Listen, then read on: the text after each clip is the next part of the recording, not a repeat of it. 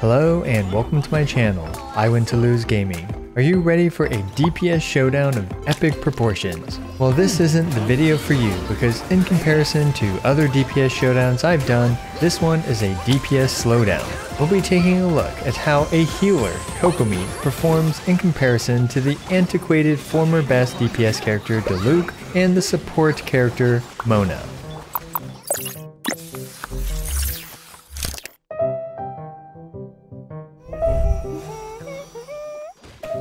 So normally in my DPS showdowns I push meta DPS characters to their limits. Every once in a while though, I like to include characters that aren't typically considered top tier DPS characters in these videos.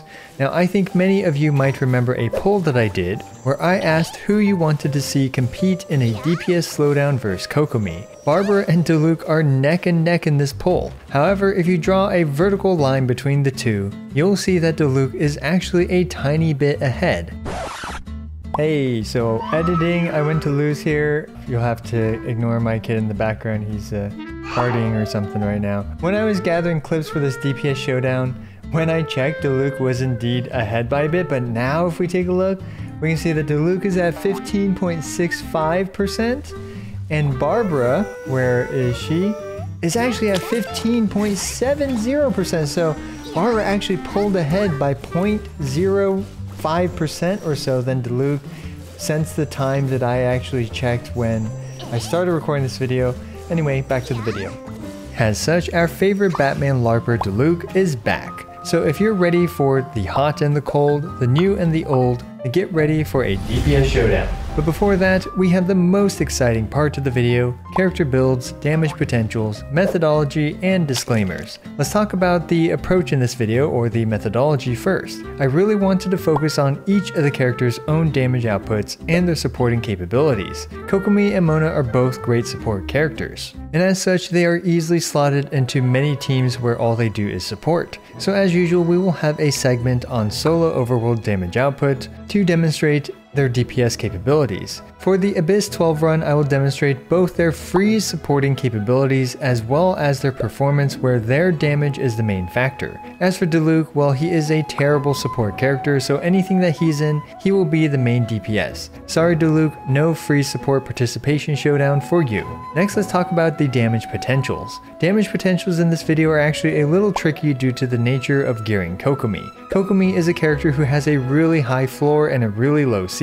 Regardless, I try to keep her damage potential in line with the other two. Her damage potential ranges from 80 to 86% throughout this video. As a main DPS, I use the world's most expensive donut and the Ocean Hue clam. And as a support, well her damage potential doesn't matter anymore and I use her with the Tenacity and a support catalyst like the Thrilling Tales or Hakushin Ring. Mona is even trickier than Kokomi. She can focus on her burst damage or her basic attack damage. Her weapon options are also all over the place too. Interestingly, the Skyward Atlas's damage is non-negligible for Mona and I do not have a Refinement 5 Memory of Dust. As such, we'll be using the Skyward Atlas for most of the overworld showcases. Unfortunately, my Heart of Death is poo-poo, but with some crit food and resonances, Mona's damage potential for her basic attacks is more comparable to the other two contestants. For the free support showcase portion, Mona is using the Tenacity and the Thrilling Tales. Anyway, the OG Batman LARPer Diluc is finally back and he's grumpy as always. My artifacts haven't changed at all for him, but I will be using him at around 95% damage potential for the overworld, which is higher than the other two. This is because true Diluc mains have been farming the Crimson Wish domain since the first week of Genshin Impact's release. So it's actually somewhat common to see many Diluc mains with nearly perfect artifacts. And now with the contestants lined up and raring to go, it's time for everyone's favorite parts of the video, the disclaimers. All the runs in this video can be improved. I simply do each of these runs a few times and pick the best time for each of the situations. I'm not here to grind infinitely just to save a few frames to a few seconds. Each of these runs were done to the best of my abilities and problem solving within a reasonable amount of time. This is simply an anecdotal comparison between these characters at my levels of investment. Because my characters are all at constellation 6 or 5 and 5, this is not an accurate reflection of their power levels at lower constellations. Just because character A is better than character B in a specific scenario does not mean the character A is better than character B. Please take everything with a giant grain of salt. We can finally get started with our very first and favorite volunteer, the Cryo Regisvine.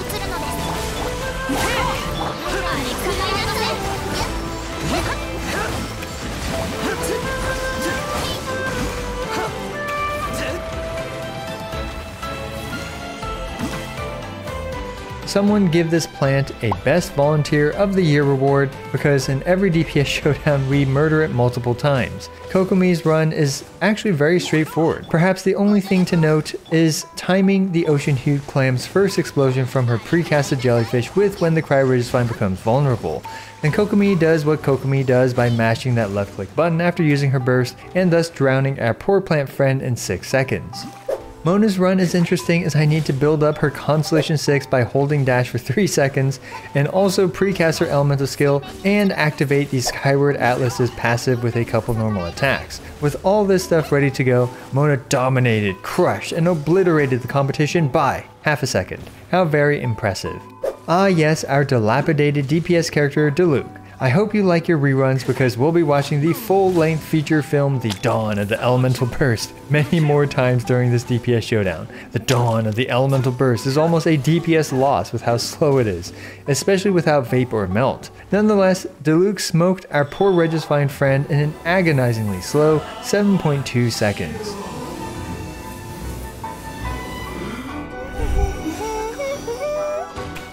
Our next volunteer is a far beefier target that also allows precasting the Primo Geovishap.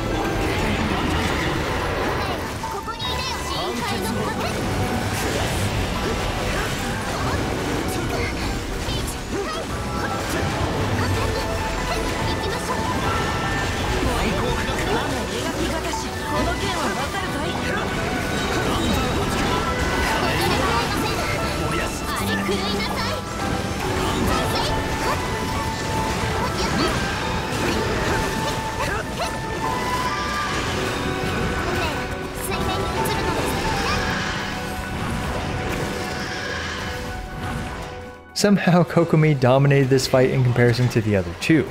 Once Kokomi gets her burst and jellyfish up, she outputs some very consistent and reliable DPS.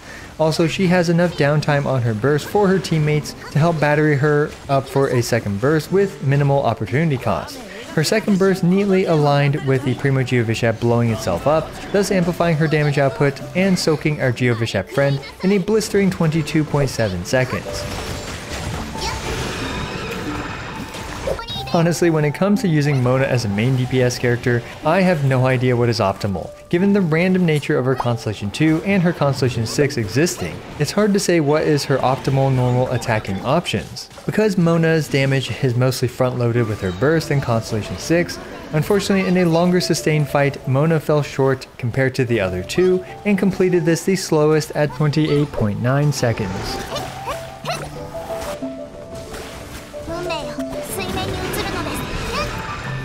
The Batman Larper is next and at a much higher damage potential than the other two, he managed to squeak past Mona by about a second and a half. Unfortunately, the Primo Geovishap's hitbox is really wonky and melee attacks often whiff against it.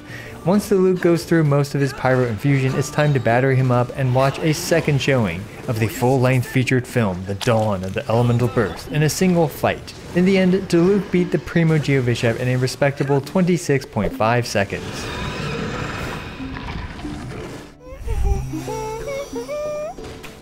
As with all my DPS showdowns, I include a multi-phase boss fight. The Maguu Kenki happens to be a great option for this as it has two very distinct phases.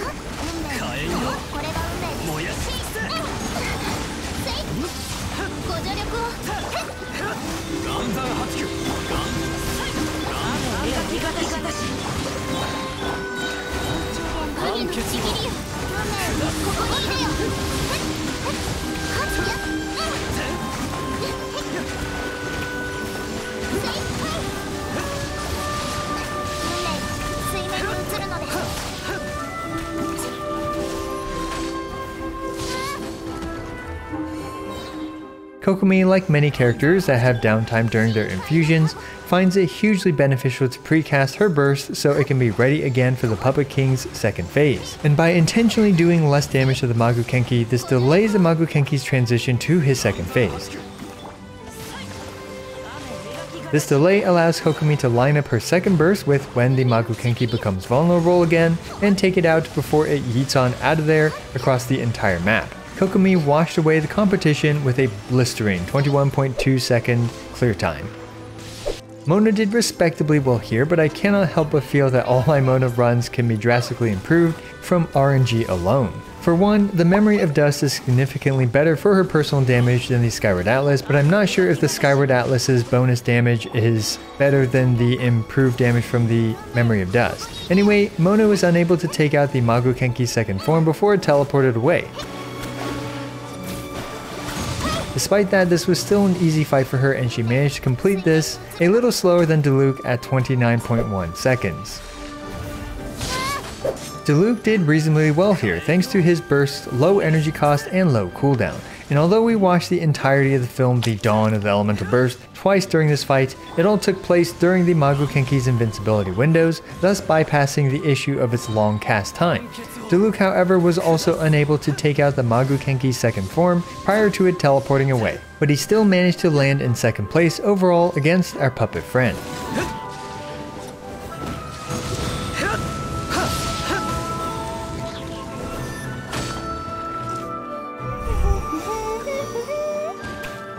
The last solo damage output showcase for this video is Super Masanori. In case you aren't aware, Masanori goes Super Saiyan and becomes much more difficult from midnight to 2am. I swear it used to be from midnight to 4am, but for some reason, right now it's midnight to 2am.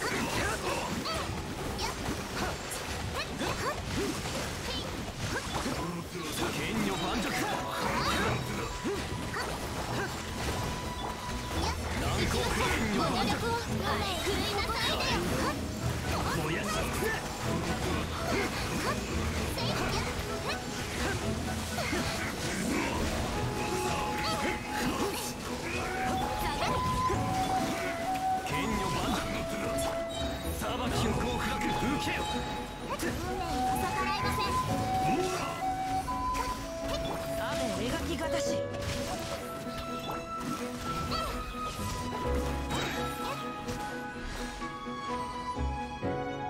Wow, well Kokomi managed to dominate this fight.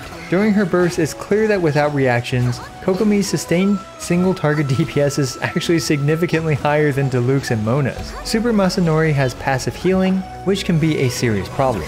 But Kokomi does just the right amount of damage during a single burst to wipe out an entire health bar. As such, the second form of Masanori also just required a single burst from Kokomi to take out. Kokomi absolutely dominated this fight.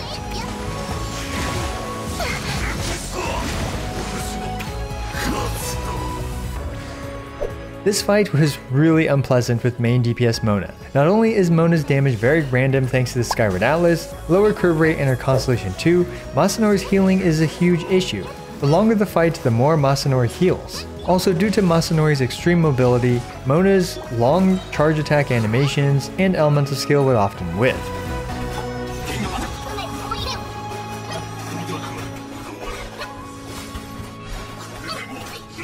Also, when Masanori puts up his guard, I have to get lucky with Zhongli's hold E to knock him out of it or run around his entire back, neither of which are great for taking him out as fast as possible. Anyway, after three bursts for Mona, she was finally able to take out our favorite Night Owl Samurai, Masanori, in 50 seconds. Diluc is again last but not least. Masanori is an impressively agile man as he dashes across the arena, but after a lot of trial and error and some great RNG and watching the Dawn of the Elemental Burst movie three times total during this fight, Diluc took out Masanori in a very reasonable 41.4 seconds.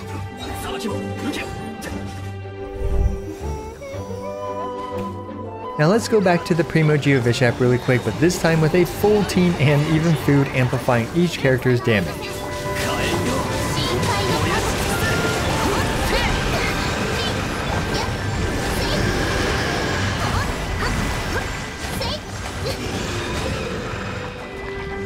So I tried a vape build with Kokomi but was unfortunately unable to take out the Primo Geovishap in a single cycle. However, equally surprisingly in my opinion was this team was able to take out the Primo Geovishap in a single cycle. Now equally unfortunately though, for a nuking situation like this, Kokomi was unable to quickly burst down the Primo Geovishap but was also able to one cycle it. As for Mona, well I don't think this is the fastest way I could nuke down the Primo Geovishap, but it sure is a satisfying way to milk out a giant damage number. Unfortunately, Mona's nuke setup is comparatively convoluted and slow to other popular nuke setups like for example Raiden, but despite that, it was still completely trivial for her to one-shot the Primo Geovishap. Diluc is surprisingly a solid nuker, but frankly so is every Pyro character when combined with Constellation 4 Ayaka. Ayaka's Constellation 2 provides enough cryo application for even Pyro characters to comfortably melt for a few seconds. As such, Diluc effortlessly two-shot our poor Primo Geovishap friend. It was actually a bit faster than Mona in this situation, but I'm pretty sure I could improve Mona's time here.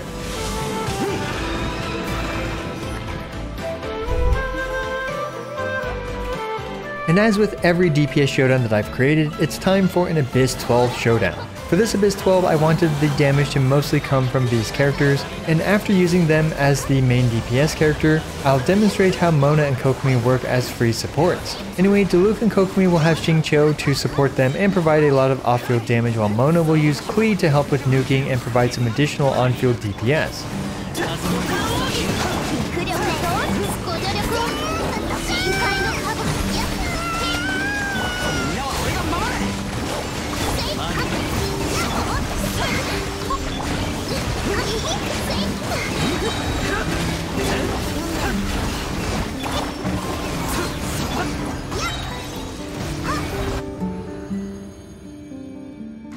Unfortunately, 1211 is an absolute menace for all three of these characters.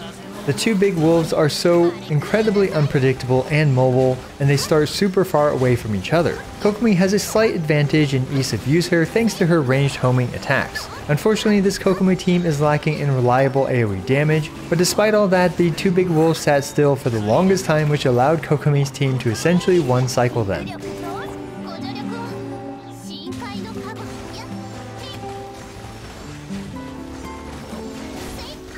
thank mm -hmm. you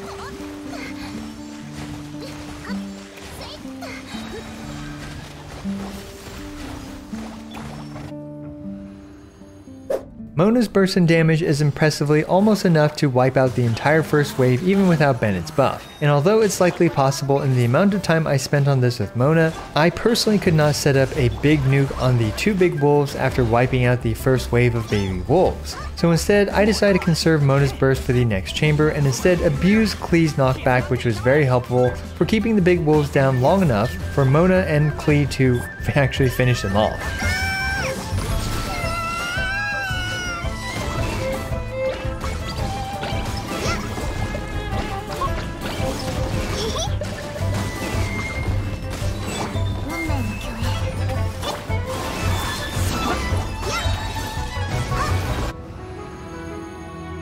Diluc didn't fare any better than the two Hydro Catalyst users here. Although this run is highly flawed, this was still somehow my fastest run while also keeping Xingqiu's burst available for the next chamber. Anyway, Xingqiu is almost able to single-handedly wipe out the first wave. Then Diluc swooped in to activate the Wolf's Gravestone passive against the puppies. And of course the two large Rift Hounds are as annoying as you'd expect them to be. They're not only super durable and have high resistances, they also have really fat hitboxes, so Diluc is effectively just a single target damage character against them. Miraculously, I managed to get a quadruple vape against the last big doggo without even Xingqiu's burst, doing up to 100k damage somehow per hit to reasonably clear 1211 while also having Xingqiu's and Diluc's bursts ready for the next chamber.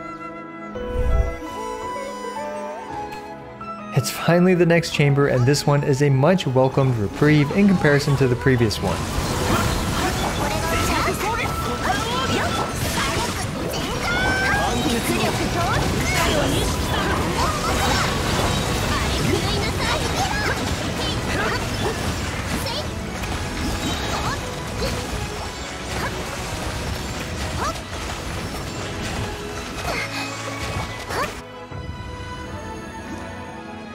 Sadly, Kokomi's lack of AoE really hurt her performance in comparison to the other two contestants. Kokomi had to one by one gun down the tall boys. With all that being said and done though, I frankly think Kokomi's performance here was nothing short of impressive, given that we're using Kokomi, a little healer, as the main source of damage.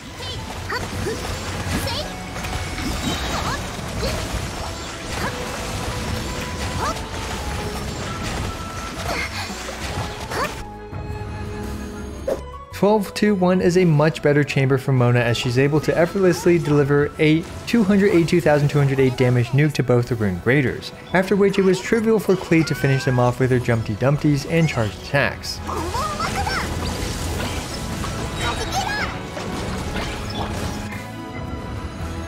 And we finally have an optimal situation for our boy Diluc. We have two immobile targets that do not get launched across the entire map by his full-length featured film, The Dawn of the Elemental Burst, that also have overlapping hitboxes for Diluc to abuse his rather narrow AoE. Diluc is joyfully cleaving away and vaping against both these tall boys doing impressive 80 to 100,000 vapes. Diluc won this chamber with his clear time of 16.7 seconds.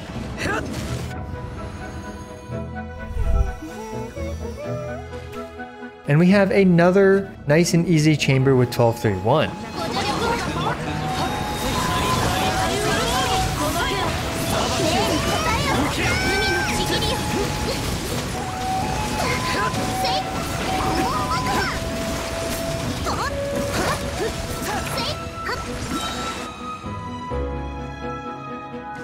Although this chamber is easy, it still has the problem of having multiple spread out targets, of which Kokomi and Xingqiu essentially treat this as a single target fight. Despite throwing water balloons at each of these robots one at a time, Kokomi still cleaned out this chamber in just 17.8 seconds.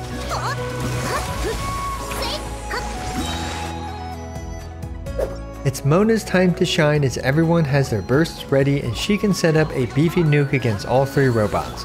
By doing the usual wait for 2 seconds for Mona's ICD on her burst to refresh, I then use Klee to Jumpty Dumpty the robots at two different angles, to one-shot the snakes on each side, and then to overlap the jumpies on the middle robot to take it out as well. An interesting but effective strategy for 1231. Diluc is next and he had a similar issue to Kokomi wherein this felt like a single target fight for him. However, he has access to Vape which is hugely multiplicative to either his damage or Xingqiu's damage. Diluc managed to clear this somewhere between the two Hydro Catalyst users in 16.5 seconds.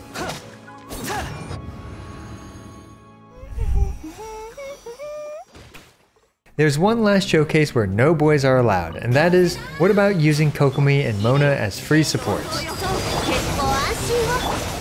雪を前ううをえ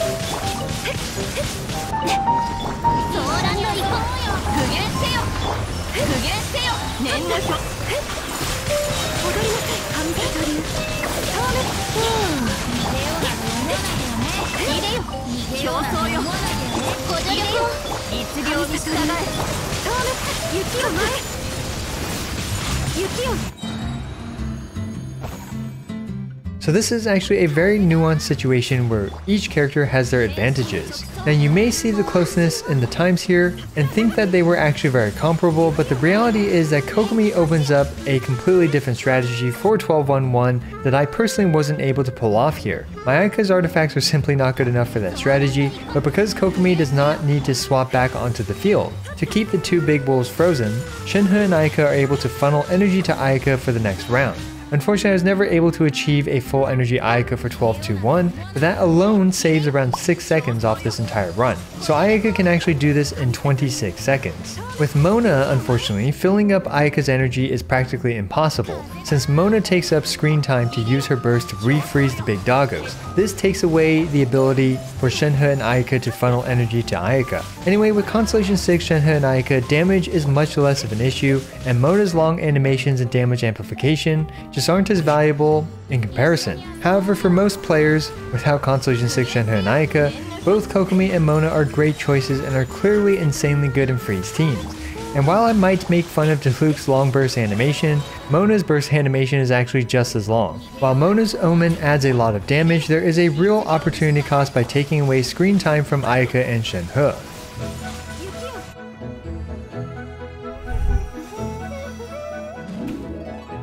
That took me a lot of effort to compile all of these runs, and here are the results. Meanwhile, in the background, I have a Kokomi Taser run for the top half of this 12, where she cleared it in 46.6 seconds, way faster than using Kokomi, Mona, or Diluc as primary sources of damage.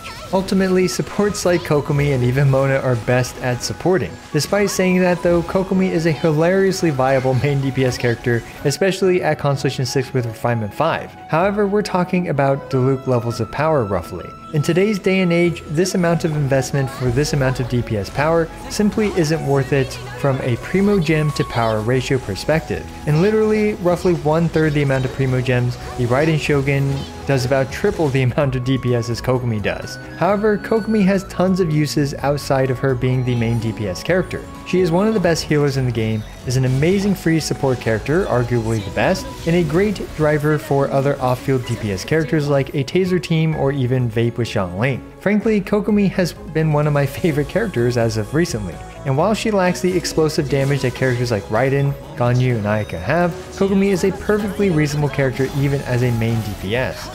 The Ocean Hue Clam and her reliability all improve her viability, and Kokomi even handily won the overworld portion of this DPS showdown. However, in full team situations, Kokomi's personal damage output suffers because attack buffs like Bennett barely buff her damage, and she struggles at reliably doing big vapes like the other two characters in this DPS showdown do. As for Mona, well I'm not going to lie, but using Mona as a main DPS character was very stressful and difficult. Her animations feel really clunky in comparison to modern characters, and her damage being extremely random thanks to Constellation 2 does not help. However, it's great to see that even Mona, a burst support character, is not colossally behind Diluc and Kokomi, even while functioning as a main DPS character. Mona of course has access to some monstrous Hydro nukes, although cumbersome to use. Mona functions as a great damage amplifier for freeze teams as well as demonstrated earlier, and I believe using Mona as a main DPS character will take me more time to familiarize. And if the situation arises for me to do something like this again with Mona, I'm sure to improve at using her as a main DPS. Anyway, despite her shortcomings as a main DPS character due to the RNG nature of Constellation 2 and the highly situational and clunky Constellation 6, Mona really wasn't that far behind. Now Diluc has always been a touchy subject on my YouTube channel, but lately I've actually seen less of it. For a long time now, I have included Diluc in my DPS showdowns and his performance has been rather consistent since his release. Unfortunately, Diluc has not had any buffs to him outside of Kazuha's release, and Kazuha, well, he buffs every Pyro Electro, Cryo, and Hydro character, not just Diluc. I also had Shintenzu try speedrunning the top half of Abyss 12 with his Diluc, and he essentially got the same time as my Diluc did. Link to Shintenzu's YouTube channel will be in the description below, and I highly recommend him for Diluc and Xiao content.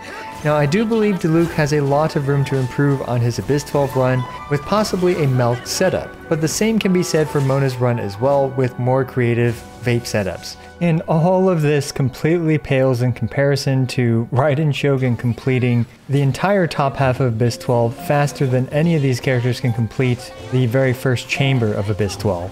Nonetheless, Diluc is still easily able to clear the hardest content in the game at Constellation 6 and Refinement 5. However, I do feel that with every patch that comes, Diluc is feeling more and more antiquated as a main DPS character.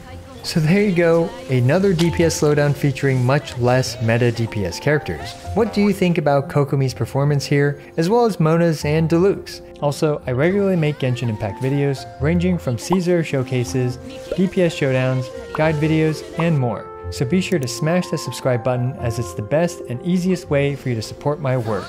Also, don't forget to like the video and leave a comment for the YouTube algorithm. As always, I appreciate every single one of you. This is I Win to Lose, signing out.